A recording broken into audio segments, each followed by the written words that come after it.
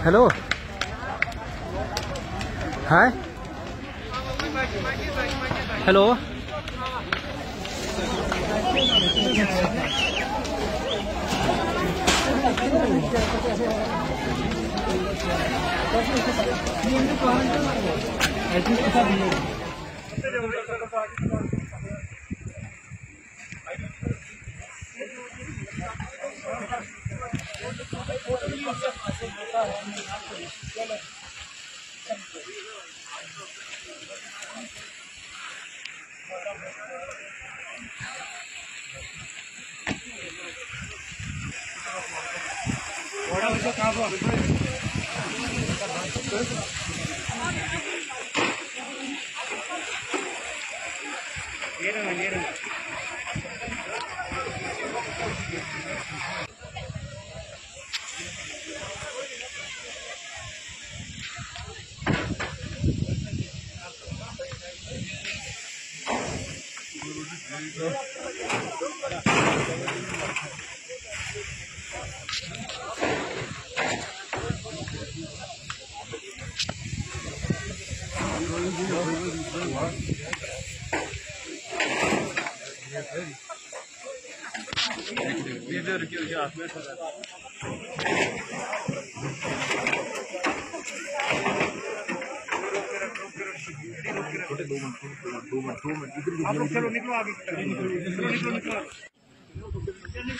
जब आपके सिर के ऊपर छत नहीं है।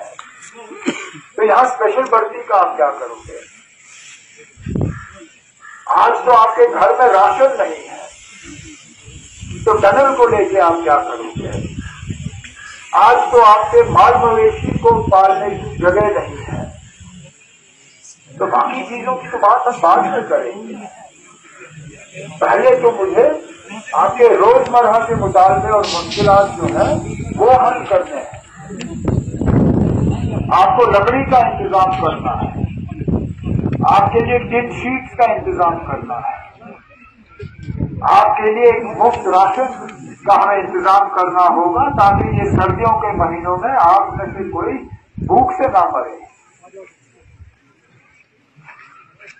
अब कुछ हमारी हुकूमत बनने से पहले ही ऐलान हो गए थे। कुछ पैसा यहाँ रिलीफ के तौर पर बांटा गया था। अब एमएलए साहब ने कुछ डिमांडें रखी हैं। रिलीफ के तौर पे, मैं फौरी तौर, क्योंकि यहाँ अलग अलग किस्म का रिलीफ मिलता है। एक तो वज़ीर आज़म साहब का अपना एक फंड होता है प्राइम मिनिस्टर्स रिलीफ फंड हमने आज ही प्रधानमंत्री वज़ीर आज़म साहब को एक चिट्ठी लिखी है कि आप लोग जो नुकसान हुआ है तो प्राइम मिनिस्टर्स रिलीफ फंड के तहत आपको वहाँ से कुछ मुआवजा मिलना चाहिए। उसका भी वहाँ से मुझे उम्मीद है कि ऐलान होगा। फौरी तौर चीफ मिनिस्टर जो मेरे पास, जो रिलीफ फंड है, उसमें से मैं दो लाख रुपए का फौरी तौर ऐलान कर रहा हूँ। वज़ीर आज़म साहब का रिलीफ आ जाएगा।